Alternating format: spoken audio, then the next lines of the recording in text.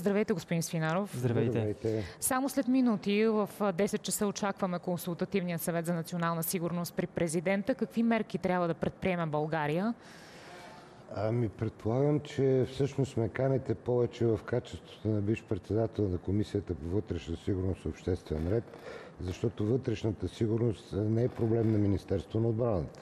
Така е. А, в този смисъл мерките трябва да бъдат за, укреп... за усилване на действията против терористични атаки, които са абсолютно възможни. Сега слушах внимателно господин Леви. Той разбира се е прав в оценките, които прави, защото първо е на място, второ това е конфликт, който почти 80 години се развива по все по-неприятен начин. Е, И си дадах сметка в едно от последните му думи, даже си позволих да се усмихна, след като видях, че камерата не ме гледа, как Ливан трябва да изгони Хизбола. Аз викам, къде ли ще отиде Хизбола, като изгони Ливан? Дали ще си търси друга държава? Еми, дали ще е държава или ще е друго място, но това са заплахите за България. Те трябва да бъдат решени. Тоест, а, а, ние трябва ясно да преоценим политиката си по опазване на българските граници. Дават се много предложения, получаваме международна подкрепа, разбира се, крайно недостатъчна, за да решим проблемите. И понеже и на Европа е много по-лесно миналите през България да ги връща в България, трябва да се намери едно ясно решение на ниво Европейски съюз, е, което да бъде в интереси на България и което ние да отстояваме. А останалото, е, като военни действия, Нивата на риск, как оценяваме, господин Свинаров? Ами всички служби твърдят, а, че не са високи нивата на риск и че няма пряка заплаха. Това ни уверяват Както сега, да. твърдяха, че Русия няма да нападне Украина ден преди атаката. А, така че а, ще спра до тук, защото не искам да говоря против службите. А, те се Казвате, опитват- субективно е това, което те ни се казват. опитват да ми... Сега ние ползваме данни от международни служби, те са твърде противоречиви понякога и оценката, която се прави в България, не може да става на базата на информация, която е 90% негативна и се очаква някакво развитие. Впрочем, основният проблем на конфликта е, че ние не се научихме, говоря като граждане на Европа и света, да решаваме проблемите, когато им е времето. Защото а, подобни действия по умиротворяване не се предприемат във време на война, а когато няма война. Тогава международните организации трябва да свикат държавите, които си противостоят и да се опитат трайно да решат проблемите. Защото господин Леви и не каза, ако сега бъде решен проблема с магическа пръчка, след ден, след седмица или след месец, кога отново ще започнат подобни Вие действия. бяхте на- критичен към на международните организации, изобщо за това, за Ами- действията, които предприемат. Да, ето, не само аз съм критичен. Израел очаква подкрепа от ООН, обяви председателя за персона нон грата. Би трябвало да помислим по тези въпроси. Не се гордея с това, че с Натаняхо мислим по еднакъв начин в конкретния случай, но, но това е факта. Действително международните организации, казах, първо трябва да не по време на война да направят своите споразумения. И второто, което е много важно, което го наблюдавам активно още във времето, в когато бях министър на отбраната, т.е. преди 20 и повече години, света се ориентира към това да се ръководи чрез управление на конфликти, а не чрез тяхното решаване. Управлението на конфликти не е тяхното решаване. Все пак трябва да достигнем до някакъв а, процес, в който да има трайно уреждане на отношенията международните, в това число и между държавните.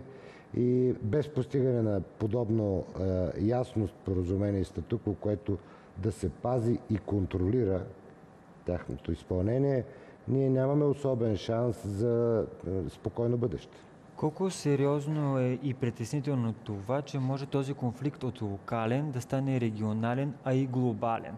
И с това, което казахте за персона на грата, за обявяването на Антонио Гутериш и не само. Ми да добавим още едно нещо. Примерно, е, Съединените щати е, проявяват действително сериозни усилия да не допуснат разширяване на конфликта. Това само заради предизборната кампания в Штатите ли е или... Не, това е трайна политика на Съединените Американски щати.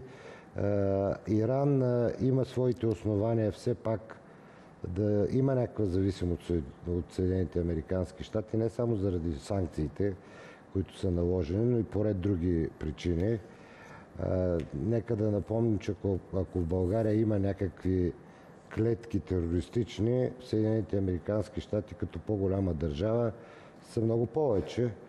Разчитаме, разбира се, техните служби да работят на необходимото ниво, но виждаме, че е, всичко се опитваме да оправдаваме с е, някакъв религиозен фанатизъм, обикновено ислямски, но нещата не стоят така. Човечеството и в е, личен и в колективен план не се променя към добро и това трябва да бъде по някакъв начин ограничено. Трябва ли да сме на штрек? Преди години си спомняте точно за тези терористични нападения, радикализацията. Имаше камиони, които блъскаха хората по улицата. Ница си спомням и не само. Това може ли да се повтори отново заради напрежението в Близкия изток? Ами ако трябва да бъдем точни анализатори, то никога не е спирало, така че няма да се повтори, а ще се постотни ще продължи да се случва. Да, терористичните атаки никога не са спирали. Те имат различни измерения и ние не се интересуваме точно от е, терористичните атаки,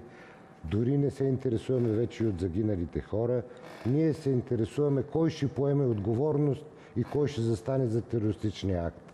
Мен ми се струва, че цялата логика на нещата е обърната и докато не оправим, няма как да има решение. Господин Свиняров, обаче, като си говорим и за тези призиви за деескалация на, на напрежението, а, чуват ли се тези призиви в Израел изобщо или... Ами според мен Израел ще ги чуе, ако те бъдат мощно поети от тези международни организации, за които говорихме. Разбира се, с прякото и авторитетно участие на Съединените Американски щати като индивидуален субект на тези отношения защото човечеството не е много подходящ в момента израза хем го сърби, хем боли.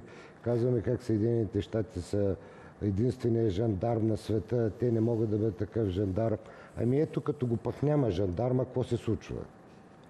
Така че трябва да се намери механизъм. Аз не твърдя, че Съединените щати трябва да продължат тази си функция, но трябва да има международна структура, която да я продължи в адекватен план. Чухте и господин Леви, който каза, че може би усилията на Израел ще бъдат насочени към атака по Иран, свързана с ядрената инфраструктура. Колко опасно е да се използва ядрено оръжие, ядрената сила, която евентуално притежава Иран? Ами това е пак част от а, международните договори, които трябва да бъдат ясни. Ако запитате 100 нормални хора, които не са изкушени от политически разсъждения, коя е тая сила, която казва, че Съединените щати, Русия, Китай, Англия, Франция ще имат ядрено оръжие, а Иран няма да има. Трябва да е ясен статута, трябва да е ясно защо е забраната.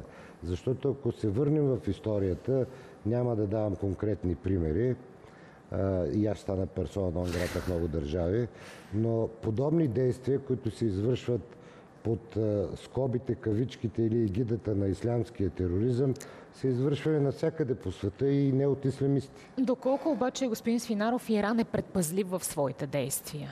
Ами, според мен е доста предпазлив. Иран има много по-големи и военни и политически възможности, но, нали казвам, санкциите и обвързаността с Съединените Американски щати, е, между Съединените Американски щати и Израел е една гаранция Иран да не минава някаква граница, защото тези отношения между САЩ и Израел няма да бъдат променени, въпреки е, факта, че ние не искаме да се разширява конфликта, но пък е, ще ви изпратим войски и оръжие с подкрепа.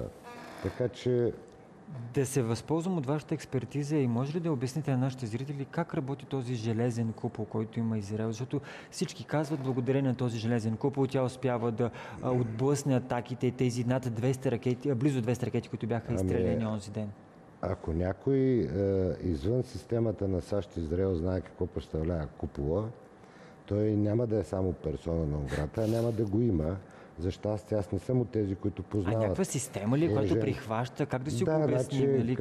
както на времето говорихме за междузвездните войни, за космическия ядрен чадър. ни щитове по филмите се образуват, да. Не само по филмите, то беше и стратегия на нас в един определен период от време. По този начин си го обясняваме. В край на краищата това, разбира се, е модерно съоръжение, което в значителна степен помага, но такова съоръжение няма как първо да реши военния конфликт изцяло и второ да доведе до справедлив мир, каквото и да означава това. Как ви се струва, господин Свинаров, къде може да е изхода, какво може да повлияе на този, на този конфликт, така че да има изход всъщност от него? Тук вече засилването на ролята, преди малко, което си говорихме с вас, на международните организации от другата страна, ролята на Съединените Американски щати и предстоящите избори там.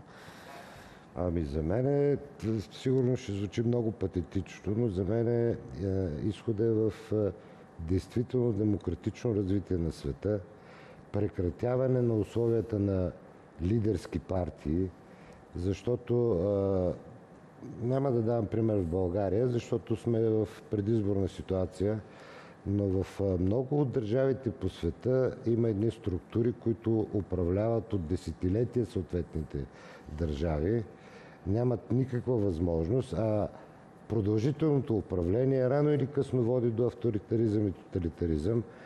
Дай Боже това да не се случва в Европа и с Европейския съюз в пълнота, защото наченки за това има. Какво трябва да направим, за да имаме по-голяма защита на нашите граници? Това, което казахте и в началото. Сега нашите зрители виждат и картина на живо от президентството.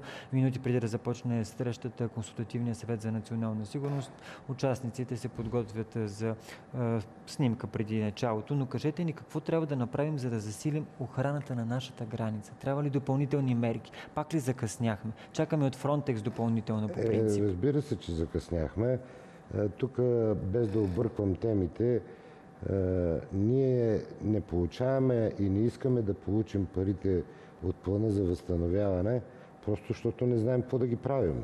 Ние пари имаме, но няма кой да работи тези пари да се превърнат в нещо, което да излезе на пазара или да оправи инфраструктура. Господин Свинаров, не си научаваме уроците или непрекъснато излиза, че сме неподготвени за каквато и ситуация да ни се ами, случи? Ами, значи не, не. Първо трябва да намерим уроците, които да научаваме защото ние научаваме лесните уроци, но те не водят към добро. А, ние и при промените след 89-та година лошото копирахме много бързо. Обаче за това, че примерно трябва да работим, за да имаме а, висок стандарт, а, нещо не се говори. Не знам защо. И как трябва да си опазваме границите? Това всъщност сега е важният въпрос. Ами по същия начин, както до сега, но с усилени мерки. Разбира се е важно да имаме ясна бразда на границата, ясна ограда и така нататък. Разбира се, трябва повече човешки потенциал, въоръжени е, хора, които с техника да, да действат. Възможно е да разчитаме на помощта на Фронтекс, но Фронтекс ще ни доведе е, 100 души, които няма да решат проблема заедно с техниката. Е, ние откъде ще обезпечим да, с кадри? Задължително трябва да се водят много сериозни разговори с държавите. Ние говорим, че България ги приема първа. Не, България ги приема първа в рамките на Европейския съюз. А, и то при липса на Шенген, но това няма да, да отивам във всички теми. А, президента Ердоган а, трябва да бъде принуден да промени политиката си по отношение на тези скрити сили, все едно дали са 2, 3 или 4 милиона беженци, които са на територията на Турция, които а, са една армия, защото това по правило са хора, които първото нещо, което като са родили са видели е автомат Калашников. А, трябва да имаме предвид, че няма нужда да се ислямизират. Те са ислямизирани от преди да се родят. И тероризма е част от борбата им за съществуване, защото те не са поставени в равни условия с останалите хора по света. Това също трябва да се има предвид. И много е важно при едно разбирателство с Турция, но говоря за разбирателство, не е да даде Европейския съюз на, да обещай 6 милиарда на Ердоган, да му даде 3 и да каже гледай си работата. Ясно разписани правила и Нещата точки. трябва да бъдат ясно разписани и а, контролирано тяхното изпълнение. Финално да ни кажете с едно изречение, като бивш министър на отбраната, правим ли достатъчно в сферата на отбраната? Трябва ли да се насочим на там и въпросът ми е, готви ли се светът за война?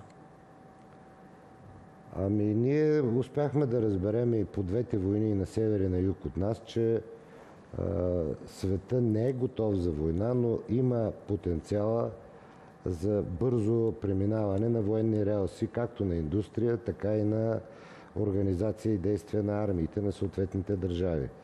Тук пак отиваме, Европейския съюз няма трайна външна политика, няма сили за отбрана и сега се правят някакви опити, които впрочем се правят поне от 25 години. Е, нали трябваше и вноската, която се и в НАТО, членската вноска да се увеличи за повече пари за отбрана, ама нещо и не да, се ето, получава. говориме за някаква добра воля, а, а не за контрол и санкции. Няма как да стане. Действия, не е думи, казвате. Не. Благодарим ви, господин Свинаров, за този разговор. благодаря.